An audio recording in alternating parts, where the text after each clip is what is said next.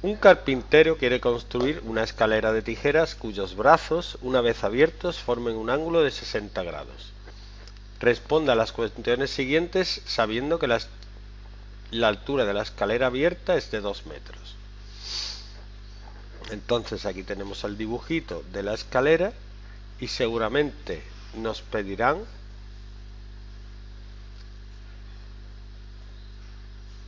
...60 grados la altura de este triángulo es 2 metros y seguramente nos pedirán cuánto miden los brazos de la escalera y qué distancia hay entre esos brazos sobre el suelo, ¿no? Muy bien. Pues cogemos uno de los dos triángulos rectángulos que sale y la altura como divide por la mitad al triángulo, este ángulo tiene que medir 30 grados. Y esto mide 2. Entonces, como queremos saber la hipotenusa y tenemos un ángulo y su cateto contiguo, vamos a usar el coseno. X. El coseno de 30 es el cateto contiguo a este, que es 2 partido la hipotenusa, que es X para despejar esta ecuación en las que algunos alumnos tienen problemas, yo propongo pasar la x que está dividiendo multiplicando.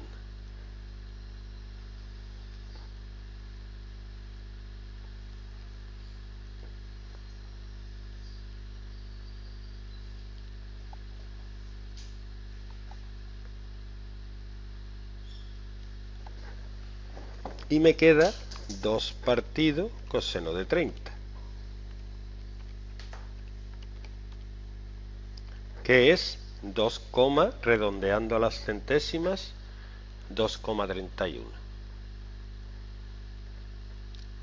Y si nos piden la distancia Sí, en la primera parte, donde te coseno 34 por uh Si en vez, tú movido la X por un lado y coseno para otro. -huh, Y si se deja la X donde está y mueve el 2 para otro lado, pues me quedaría coseno de 30 partido 2 igual a 1 partido x. Fallo muy común. Se queda sola con uno encima. Si tiene uno encima no está sola, ¿no? Y ahora me piden que calcule la longitud de la base. Pues como tengo este triángulo lo puedo hacer por Pitágoras porque tengo la hipotenusa y un cateto.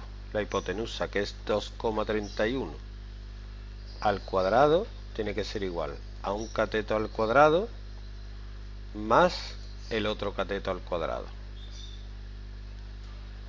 que no lo sabemos y como tenemos la x ocupada le vamos a llamar y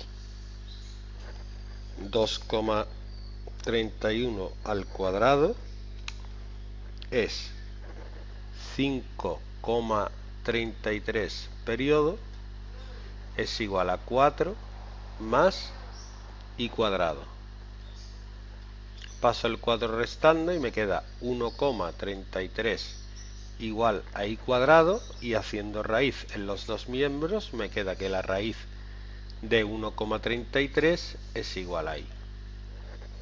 Y la raíz de 1,33 es 1,15.